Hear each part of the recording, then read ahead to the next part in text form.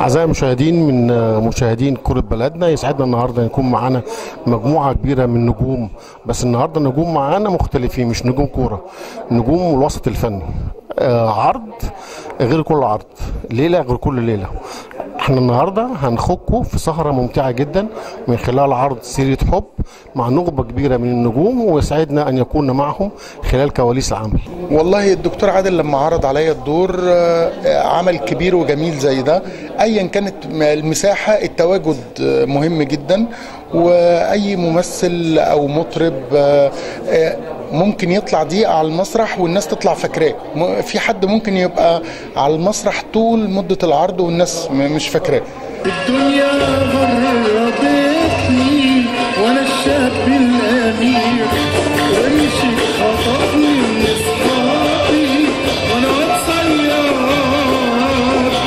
الفنان والزميل ناصر عبد الحفيظ منور عرض آه، سيرة حب وعامل شخصية تاريخية. آه، ناصر اشتغلت إزاي على الشخصية لحد ما طلعت للنور؟ بس اولا الشخصيه كنت خايف منها جدا. آه، طبعا دكتور عادل أنا اشتغلت معاه معظم أعماله اللي على خشبة مسرح البالونة والقطاع الخاص. فهو فاهم شوية يعني بيقرأ ناصر من بعيد. أنا الابنودي بالنسبة لي كان مقلق وخايف منه ومرعوب ووضحت ده للدكتور عادل عبده. الابنودي شخصية ليها كاريزمتها. آه، عنده حضور وهو بيستدعي المفردة اللغوية بتاعتها آه، من منطقة من جنوب مصر منطقة الصعيد فبالتالي مفرداته ليها ثقلها هو متميز فيها. كمان متميز في إن هو يلقيها يعني عنده طاقة الممثل وهو بيقول القصيدة الشعرية بتاعته بيقدر يمسك الناس بيقدر يعرف إمتى يضحكهم إمتى يبكيهم إمتى يفرحهم فبالنسبة لي مقلق الناس شايفاه الناس عارفاه.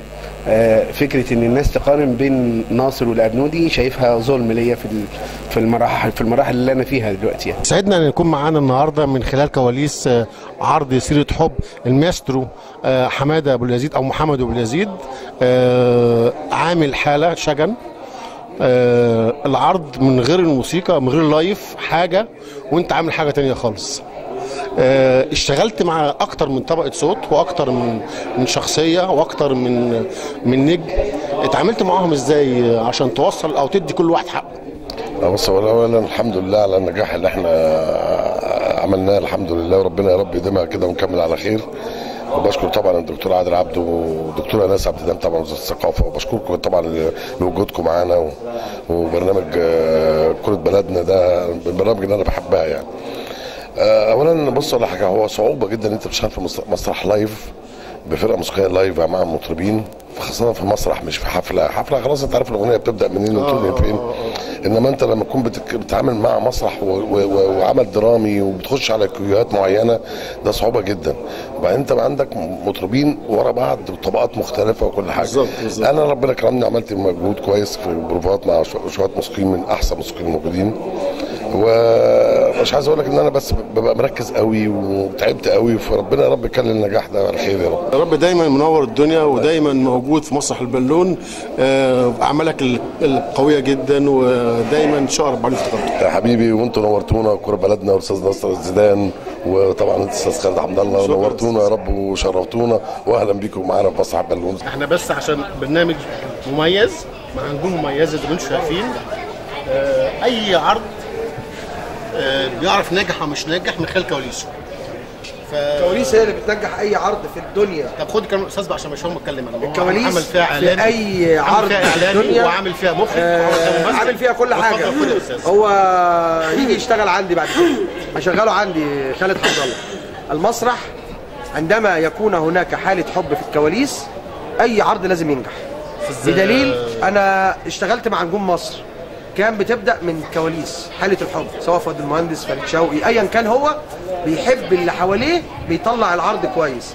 لأن أنا لو حبيت الناس جوه بطلع نفسيا كويس على خشبة المسرح فبقول للناس اللي أنا عايز اديه بيستقبلوه بحب. بيلعب في الكواليس. عارف أخلص ال level خالص؟ صعب جدا. شفت حب أكتر من كده؟ تتشرف وزارة الثقافة.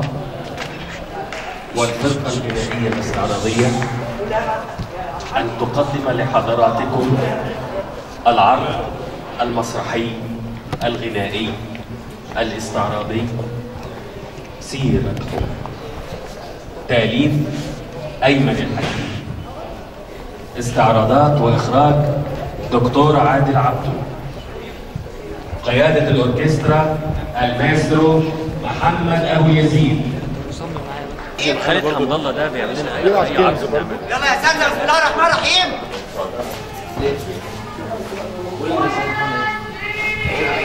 قول لي مش في الكاميرا قول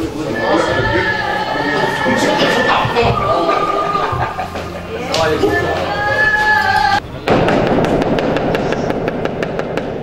كل من شاف العرض طلع في علامة استفهام ناس كتير بتسأل. كانت شغالة فين؟ كانت موجودة فين؟ صوت قوي بصرف النظر عن الأداء التمثيلي لأم كلثوم صوت قوي جدا صوت دافئ آه، بيخطف القلب آه، السؤال اللي بقول لك ده ده لسان حال كل المشاهدين. قولي بقى لكل لكل كل بلدنا أنت كنت مختفية فين؟ الأول مساء الخير ومشرفينا النهارده. آه، أنا كنت مسافرة. يعني من فترة كبيرة. أنا أصلا خريجة معهد موسيقى عربية. النضارة بقى عشان حاضر. الشخصيه الحقيقيه ده. أنا أصلا خريجة معهد موسيقى عربية وكنت في الأوبرا مع الماستر حسين سحاب وبعدين سافرت كده فترة لا بأس بها يعني 15 سنة. وبعدين رجعت وكان ليا أول لقاء في بعد السفر المسرحية سيرة حب.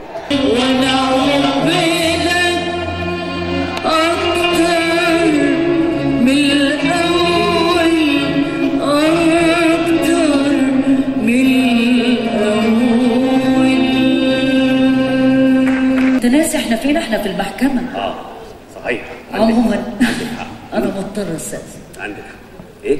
مضطرة أستأذن. يعني إيه؟ ورايا شوية حاجات. طيب. فرصة سعيدة. مفيش أسعد من كده. مع السلامة. مع السلامة. مع السلامة يا عبد الوهاب. مع السلامة. مع السلامة يا عبد الوهاب. مع السلامة. يا عبد الوهاب مع السلامة. مع السلامة يا أم كلثوم أنا اسمي عمرو أصلان آه، مطرب شعبي وممثل بمسرح البالون وبقدم شخصية النكشبندي في مسرحية سيرة حب إخراج ال- المخرج الكبير عادل عبده و- وتأليف الأستاذ أيمن الحكيم. أنا بعمل دور النكشبندي هنا بعرف الناس يعني إيه النكشبندي وإزاي أتعامل مع بليغ وإزاي آه، مولاي يعني جات إزاي واتعاملت إزاي واتلحنت إزاي وغناها ليه وعشان إيه؟ فده بنعرفه من خلال ال- المسرحية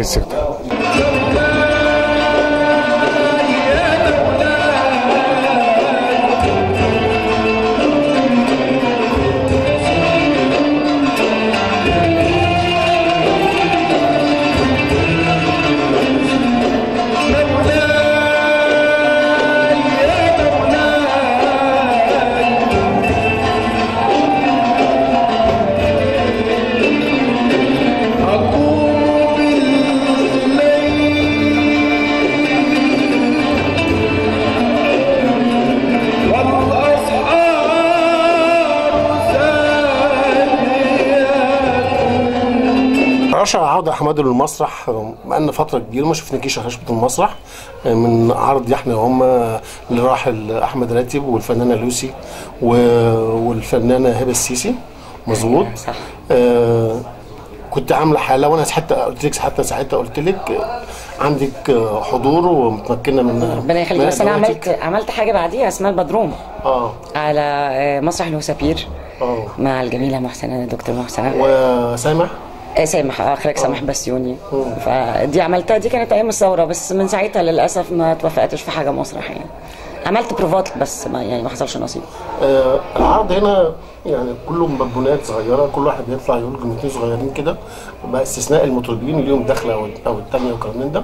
بس كل واحد معلق في في الشخصية بتاعته مع الناس. دي حقيقة. آه ما قلقتيش إنك انت بعد الغياب ده كله ترجعي بدور صغير؟ آه لا هو مش دور صغير هقول لك ليه. آه حتى المطربين في منهم بيطلعوا مشهد واحد بس وبيطلعوا مش كل المطربين. طبعا فيما عدا النجمين الكبار يعني أو ال- النجوم ال- اللي فوق قوي اللي هو مثلا آه، إيهاب فهمي عندك مروة ناجي طبعا عندك أحمد دمرداش عندك. شيكو. دي ادوار يعني هي دي نجوم العرض يعني. آه، الباقي كلهم حتى أستاذ مجدي صبحي آه، عندك سمية عندك آه، نهلة مثلا كل دول بيطلعوا مشهد واحد وبيطلعوا. أنا عاملة دور إيش إيش الوحيدة اللي حبها بليغ حمدي بنت أستاذ محمد عبد الوهاب الراحل طبعا. محمد عبد الوهاب. الوحيدة اللي حبها إزاي بقى؟ ما هو الوحيد اللي حبها بعيدا عن الفن. هو هو حب وردة فنيا. آه. لكن التاريخ. لا مش تاريخ والله لا هو حبها فنيا قصدي الوحيد اللي حبها بعيدا عن الفن يعني اللي هو ما كانش ليها علاقة بالفن نهائي يعني. آه ومش عايزه أحرق الموضوع قوي يعني بس حصل موقف لطيف. آه، آه، هنخش وهنصور ده كله؟ آه، كل ده هيتقال يعني؟ مش- ده خلاص ده هتخشوا وتصوروا هتبقوا عارفين ال- ال- البلوفه اللي حصلت أو الافيه اللي حصل في الموقف ده يعني. شيكو تاني عرض ليك مع الفنان عادل عبده. مسلمه لنفسك آه، وعارف إن هو منطقة مختلفة خالص.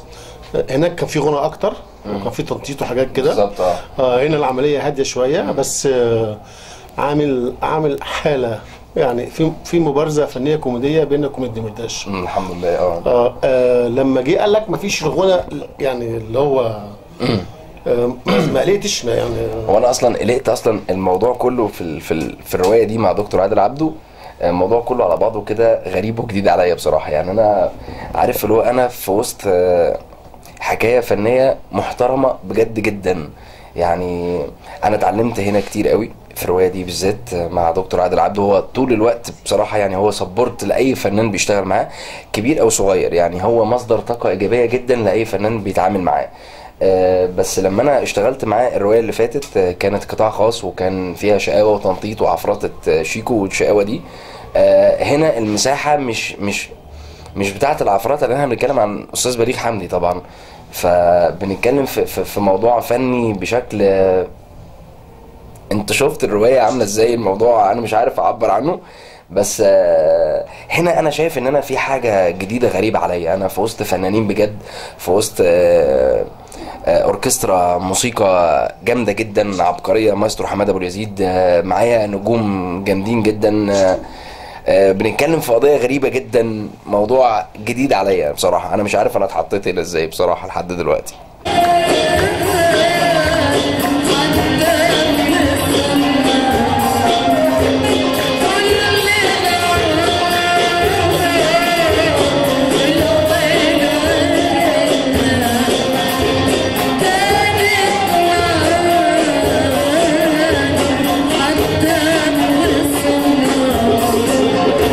أنا هقول لك حاجة يا أستاذ عبد الناصر زيدان أنا من عشاقك جدا ومن عشاق كرة بلدنا.